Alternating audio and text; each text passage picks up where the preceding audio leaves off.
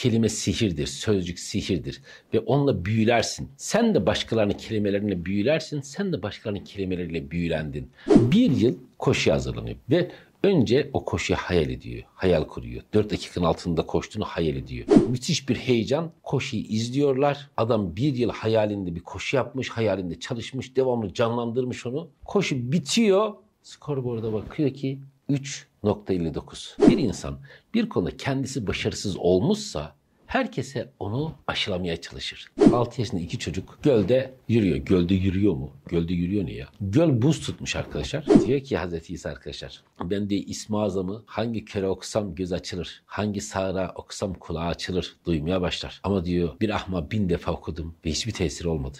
Bazen duymamak iyidir. Bazen de neyi duymam gerekiyor, neyi duymamam gerekiyor bunu biliyor olabilmem önemli. Ve bir şey de fark etmem lazım. Ya hayır söyle ya sus. Çünkü güzel dostum söylediğin kelimenin frekansına girersin.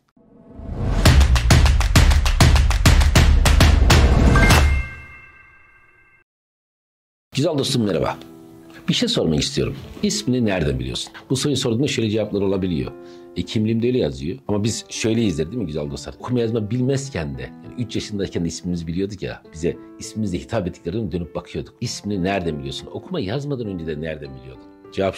Çünkü öyle söylediler. Kim söyledi? Çevre, dışarı. Dışarısı bize kendi ismimizi bile dışarıdan öğrendik güzel dostlar. Dışarı bize bir şey söyledi. Ha benim bu ismim buymuş diye kabul ettik. Ve her şeyi öyle kabul ettik. Ve söz o kadar önemlidir ki arkadaşlar. Hani çok duymuşsundur. Kelime sihirdir, sözcük sihirdir.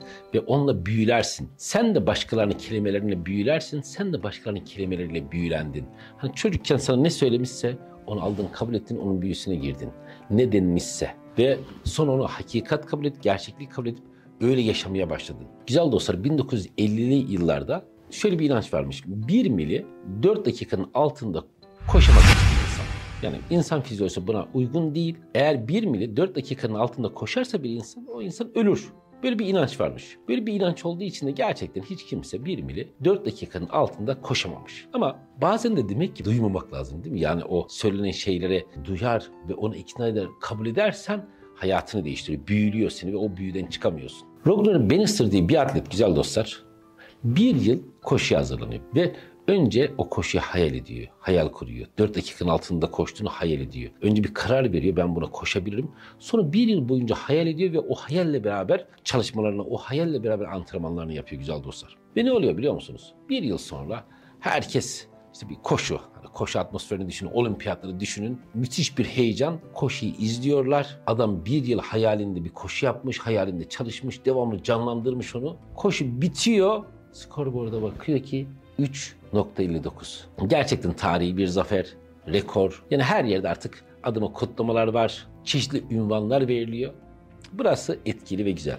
Ama daha güzeli şu güzel dostlar. Rogner Bannister 1 mili 3.59'da koştuktan sonra 2 yıl içerisinde 213 kişi daha koşuyor. Çünkü birisi yaptı artık. Artık söylediler insanlara, Aa, bir mil 4 dakikanın altında koşulabiliyormuş denmeye başladı. Duymaya başladık ve o şekilde hareket etmeye başladık. Bazen çok ufak bir şey olumlu anlamda olumsuz anlamda pek çok şey değiştirebilir güzel dostum. Yani sana yapamazsın dediler ya da yapabilirsin dediler. Sen hangisinin büyüsüne kapılmışsan ona doğru gidersin. Bazen duymamak. İşte buradaki koşucumuz, atletimiz ne yapıyor? O denilenlere kulak asmıyor. O denilene oralı olmuyor. Oralı olmadığı için başarıyor. Bilirsiniz o sağır kurban hikayesini. Kurbağalar bir çok yüksek bir kuleye çıkacak. Çok yüksek bir kuleye çıkacak. İzlemeye gelen diğer kurbağalar diyor ki hayır ya mümkün değil. Nereye çıkacaksınız? O kule kimse çıkamaz. Mümkün değil. Ama kurbağalar yarışa başlamışlar. Aşağıdan diğer kurbağalar sesleniyor. Hayır ya mümkün değil. Asla çıkılmaz. O imkansız. Çıkamazsınız asla diyorlar izleyicilerde. Çünkü güzel dostlar genelde şöyledir. Bir insan bir konuda kendisi başarısız olmuşsa herkese onu aşılamaya çalışır. Ben yapamadım sen de yapama. Onu yapamazsın çünkü kendisi başarısızsa evet olmuyor. Dolayısıyla siz de yapamayacaksınız hissini vermeye çalışır genelde başarısız insanlar. İşte o kurbağalar da arkadaşlar seyirci kurbağalar da hayır mümkün değil derken bir bakıyorlar ki evet gerçekten kurbağalar tek tek tek tek dökülüyor. Ama tek bir kurbağa kalıyor. Tek bir kurbağa kalıyor ve ilerliyor. Ve kulenin en tepesine kadar çıkıyor. Ve kurbağalar arkadaşlar diğer seyirci, izleyici kurbağaları merakla onun yanına giriyorlar. Diyorlar ki nasıl başardın? Ne yaptın da başardın? Nasıl o imkansızı gerçekleştirdin? O kulenin en üstüne çıkabildin? Kurbağadan ses yok. O sırada anlıyorlar ki Meğerse kurbağa sağırmış. Ya sağır olacaksın bazı şeyleri etkisinde kalmamak için ya da duyuyorsan bile öyle bir iraden, öyle bir benliğin olacak ki olumsuz şeyleri kabul etmeyebilecek bilincin oluyor olabilmesi lazım. Evet güzel dostlar kelimeler gerçekten sihirdir ve bizi çok etkiler. Hele inandığımız kelimelerse o. Senin hayatında da vardır herhalde. Hani yapamazsın dendiği halde yaptıkların. Pek çok kişi yapamazsın demiştir ama sen başarmışsındır.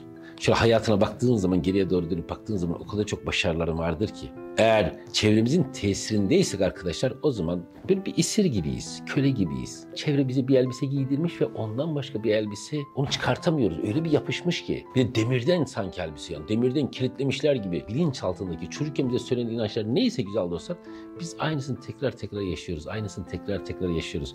Bize basit bir şey söylediler ama bir ömür aynı cezayı ödüyorum. Yani diyelim ki 7 yaşındayken bir defa aptalsın dediler, salaksın dediler. Eğer ona inanmışsan bir ömür aynı cezayı bir daha bir daha çekiyorsun. Yani senin bir hareketinden dolayı denmişti belki aptalsın diye. Evet o hareket cezayı gerektiriyor olabilirdi ama bir hatanın bir cezası olur ya. Ama biz çocukken duyduğumuz, yaptığımız bir hatanın cezası ömür boyu devam ediyor olabilir. Çünkü çocukken duyduğumuz kelimeyi bilinçaltına yerleştirip artık ona inanmışızdır ve inanç kendini gerçekleştiren kehanettir.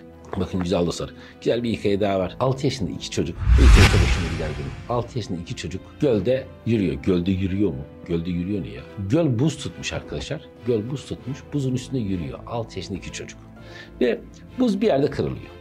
Bir yerde kırılıyor ve çocuklardan birisi suyun içine düşüyor. Suyun içine düşünce diğer çocuk arkadaşlar arkadaşını kurtarabilmek için sağa sola koşturuyor. İşte yardım çağırıyor. Ama bakıyor kimse yok. Kimseyi bulamayınca geri kendisi dönüyor ve kendisi içine düşmüş arkadaşını sudan çıkartıyor. Sonra eve koşuyor, ailesine haber veriyor, sonra ambulans geliyor, sonra hastaneye gidiliyor güzel dostlar. Ve orada herkes şunu merak ediyor, o, oradaki sağlıkçılar. Ya sen 6 yaşındasın, bir çocuksun, nasıl sudan çıkartabildin bu çocuğu? Çocuk da diyor ki bilmem çıkarttım işte. Ya tamam da nasıl çıkartabildin?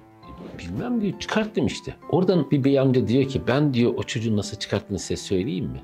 Herkes ona bakıyor. Nasıl çıkartmış olabilir? Amca diyor ki arkadaşlar çünkü ona kimse çıkartamazsın demedi. Söz sihirdir. Bazen çok basit bir şey hayatımızı çok etkiler. Bazen bir şeyin denmemesi ya da bir şeyin denmesi, denmemesi. Burada çocuk ne yapıyor güzel dostlar? Denmediği için çıkartamazsın, denmediği için başarılı. Bir gün güzel dostlar çiftçi amcamızın birisi geliyor pazardan bir koyun alıyor. Pazardan koyun alıyor onu köyüne götürecek. O sırada dört hırsız da bizim çiftçi amcayı izliyor. Sonra amca koyunla beraber gidiyor ya köyüne doğru. Hırsızlardan birisi yana giriyor. Ya amca diyor Nereden aldın bu kaplanı? Nereden buldun bu kaplanı? Pazarda kaplan mı satılıyordu? Amca diyor ki ne kaplanı ya bu koyun. İşine bak diyor. Sonra amca köye doğru koyunuyla yürüyor arkadaşlar. Sonra ikinci hırsız geliyor. İkinci hırsız geliyor diyor ki amca sen nasıl cesur bir adamsın ya. Kaplan almışsın ve kaplanla beraber köyüne gidiyorsun. Yine ikinci kişiye de diyor ki amca ne kaplanı ya? Koyun bu. Sonra üçüncü kişi geliyor arkadaşlar. Üçüncü hırsız geliyor bir müddet sonra. Amca ya diyor bu kaplanı nereden aldın? Çok pahalıdır herhalde. Hem diyor hiç korkmuyor musun seni yer? Sana saldırır. Bu nasıl bir cesaret? Amca diyor böyle bir bakıyor Allah Allah bu koyun değil mi? Önüne gelen herkes kaplan deyip duruyor. Git yeğenin başımdan ya diyor. Koyun o. Bir müddet sonra güzel dostlar dördüncü hırsız geliyor. Dördüncü hırsız geliyor ve diyor ki amca sana hayranım. Eline bir kaplan almışsın ve kaplanla beraber yürüyorsun. Bu nasıl bir cesaret? Bu kaplanı nereden buldun? Biz de bulabilir miyiz? Nereden buldun? Güzel dostlar dördüncü kişiyle beraber Amca diyor ki ya ben bunu koyun biliyorum ama ya kaplansa ve bana saldırırsa koyun orada bırakıyor arkadaşlar ve köyüne doğru koşmaya kaçmaya başlıyor. Aslında koşması gerekiyorsa başka bir şeyden kaçması lazım ama Hazreti İsa arkadaşlar bir gün kaçıyor böyle. Sanki bir kaplan kovalıyormuş gibi kaçıyor. Oradan birisi görüyor ya bu koşan İsa değil mi? Bu nereden koşuyor? Bu nasıl bir şeyden korkabilir? Hazreti İsa kaçıyor. Adam bizi sesleniyor arkadaşlar. Nereye kaçıyorsun? Ona cevap bile vermiyor arkadaşlar. Koşmaya devam ediyor. Ya diyor bu Hazreti İsa nasıl kaçabilir? Adam merakla arkadaşlar yani onun arkasından koşup yetiyor. Ya diyor ki sen nereye kaçıyorsun?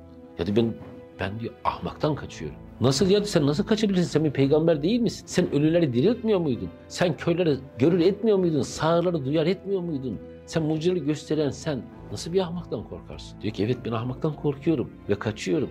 E, yaptığın dualar diyor ahmaklık bir hastalık değil mi? Köre geçiyor da ahma nasıl geçmiyor?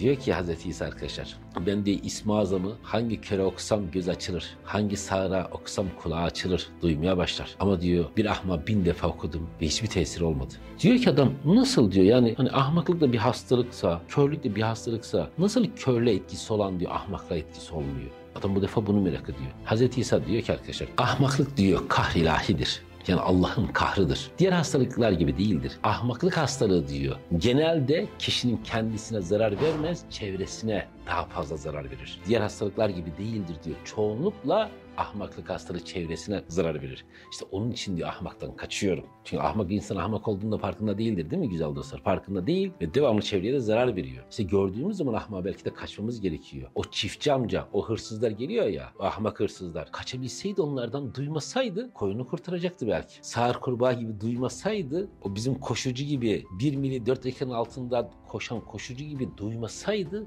o zaman başarılı olacaktı belki. Evet güzel dostlar bazen duymamak iyidir. Bazen de neyi duymam gerekiyor, neyi duymam gerekiyor bunu biliyor olabilmem önemli. Ve bir şeyi de fark etmem lazım. Ben de birilerine bir şey anlatıyorum, sen de birilerine bir şey anlatıyorsun. Söylediğimiz kelimeler güzel dostlar herkes etkiler. Kelimeler sihirdir güzel dostlar. Sözcükler sihirdir. Sen de aslında bir hadis-i şerif var arkadaşlar. Her şeyi çok güzel bir şekilde anlatıyor. Ne diyor? Ya hayır söyle ya sus. Çünkü güzel dostum söylediğin kelimenin frekansına girersin. Ya hayır söyle ya sus. Eğer söylediğimiz kelime olumlu değilse söylemeye gerek yok. Çünkü söylediğin kelime karşı taraf etkilediği gibi aynı zamanda seni de etkiler.